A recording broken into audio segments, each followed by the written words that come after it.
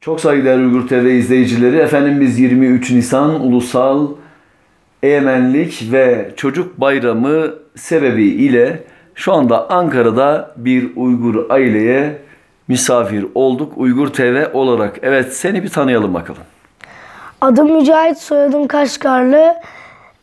Pınar Eğitim Kurumlarına gidiyorum. 10 yaşındayım. İstanbul'da doğdum. Doğu Türkistanlı bir ailenin çocuğuyum. 6 kardeşiz. Ben ailenin 5. çocuğuyum. Peki 23 Nisan Ulusal ve Egemenlik Bayramını kutladın mı? Evet. Nerede kutladın? Kocaeli'de. Kocaeli'ne mi gittiniz? Evet. Peki neler yaptınız orada?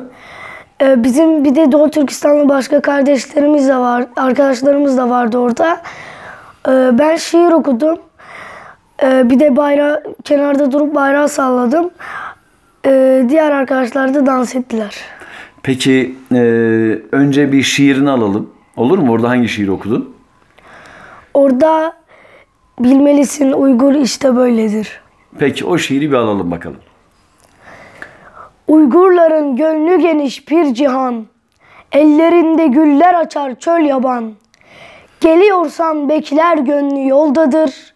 Bilmelisin Uygur işte böyledir. İyilikleri yaymak için gelmiştir.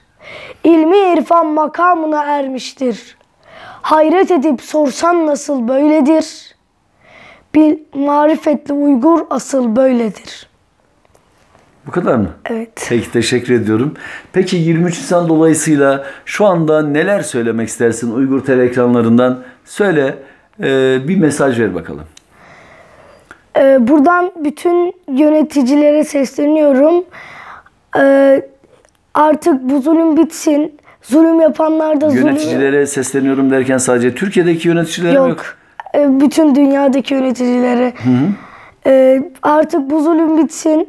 Zulümü devam zulümü hala devam ettirenler de bu zulümü burada son buldursun.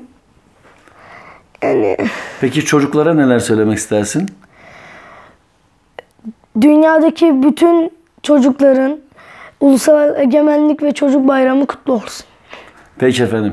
Efendim biz de Uygur TV olarak dünyadaki bütün çocukların e, çocuk bayramını tebrik ediyoruz. Ümit ediyoruz ki gelecekte bütün çocuklar kendileri için bugün sıkıntı veren bu zaman diliminde gelecekte daha iyi yarınlar için kendilerini yetiştirirler. Onlara o zemini de bizler hazırlarız. Ümit ediyoruz daha çok barışın yaşandığı, huzurun yaşandığı, mutluluğun ve saadetin yaşandığı bir dünyada inşallah bu çocuklar bir gelecek bulurlar diye biz de temenni ediyoruz. Uygur TV olarak hepinize iyi günler diliyoruz. Hoşça kalın. Allah'a emanet olun.